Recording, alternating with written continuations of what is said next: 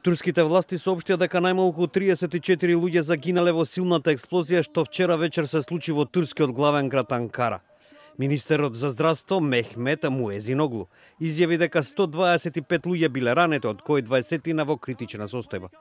Председателот Реджеп Тајп Ердоган изјави дека Турција станала цел на терористички напади поради нестабилноста во регионот во изминативе години.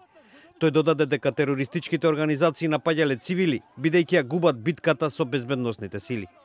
Експлозијата се случи во Гувен парк на плоштадот Кизилај, клучен транспортен и трговски центар во Анкара. Според НТВ телевизијата станува збор за самоубиствен напад со автомобил бомба.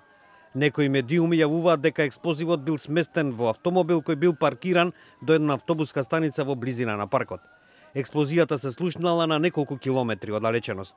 Неколку други возила биле зафатени со оган во подрачјето кое во близина на владините канцеларии, вклучувајќи на неколку министерства. Премиерот Ахмед Давутоглу изјави дека истражните органи имале солидни траги за тоа која конкретна терористичка организација би можело да стои зад нападот. Министерот за внатрешни работи Ефкан Ала веднаш по нападот најави дека името на таа организација ќе биде соопштено кога ќе заврши истрагата.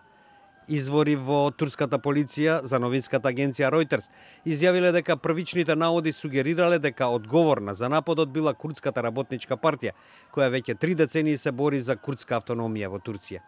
Според некои наводи, автомобилот кој експлодирал бил од марката BMW со регистарски таблички од Виран Сехир, град на југоистокот на Турција во кој главно живеат курди. Овој напад беше втор за непол месец. Предходниот извршен на 17 февруари, исто така со автомобил бомба, се случи на само неколку квартови од сегашниот. Во тој напад загинаа 29 луѓе, повеќето од нив војници. Вчерашниот напад беше и трет во изминативе пет месеци извршен во близина на владата, парламентот и некои странски амбасади во Анкара. Австралискиот амбасадор во Турција, Джеймс Ларсен, како што соопшти Камбера, бил во автомобил на само 20 на метри од експлозијата. Турските власти наредија забрана на пристап на Facebook и Twitter откако слики со жртви од нападот биле разменувани на овие социјални медиуми. НАТО членката Турција се соочува со повеќе безбедносни ризици. Како дел од сојузничката коалиција, предводена од Соединетите држави, се бори против милитантите на Исламската држава во Сирија и Ирак, но и против Курските милитанти на југоистокот на земјата, откако во јули лани пропадна две и пол годишното примирие меѓу двете страни.